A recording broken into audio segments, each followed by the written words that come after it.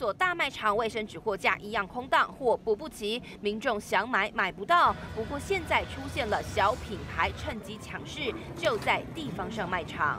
我看两看，想要今日去看无？一串五十九元超便宜卫生纸，十包一串等于一包五点九元，也有的一串二十包才卖一五八。虽然不是大品牌，但民众说摸鱼黑马后。哎好啊，最好的，都俗的，差做做散哦都卖便宜一点啊吼。啊，若要用的，我袂就用较好一丝啊。这较无白吼。小差三分之一的，少了广告宣传费，价格硬是比大品牌便宜一半以上。业者说，卫生纸涨价声浪后，虽然整体业绩比过去成长了三到四成，但有些民众依然有品牌迷思。无用固定，吓，用固定的牌子安尼吓。最好的还是那一种有品牌的，所以杂牌的反而也是普普而已。这里杂牌的很少。